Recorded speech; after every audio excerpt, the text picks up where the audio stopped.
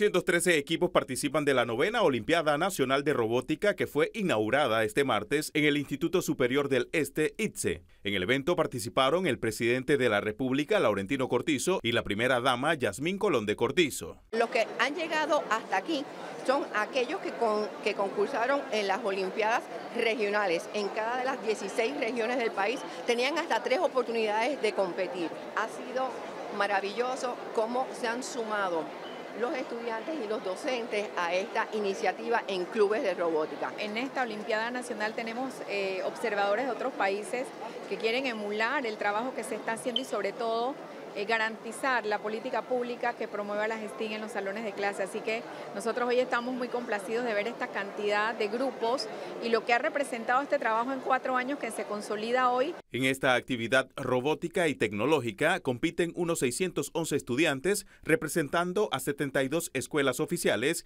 y 124 colegios particulares. La energía eólica nos ayuda a alimentar a lo que es nuestra torre de telecomunicación y también ayuda a nuestro robot eh, Nunibot. Eh, cabe recalcar que elegimos la energía eólica ya que como conocemos Panamá es un país tropical, entonces siempre genera viento.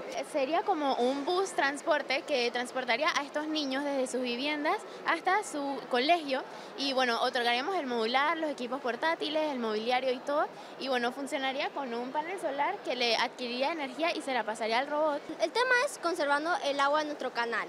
Se trata que él vaya a recoger la basura en el río Boquerón.